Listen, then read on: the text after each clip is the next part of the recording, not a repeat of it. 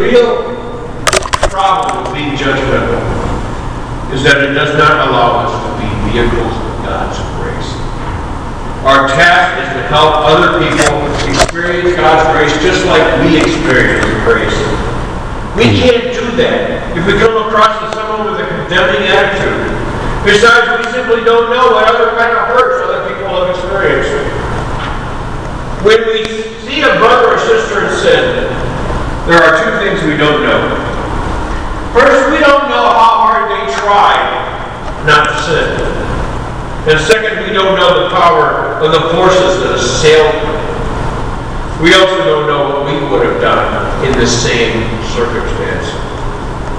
The teaching of the parable is clear. There will come a time when the wheat is separated from the weeds. But only, only God is in a position to judge which is which. Amen. In the meantime, let's focus on what we are called to do. To love each other, to love this world, and to witness the amazing power of the grace of Jesus Christ. That is what we are called. Amen. Soli Deo, gloria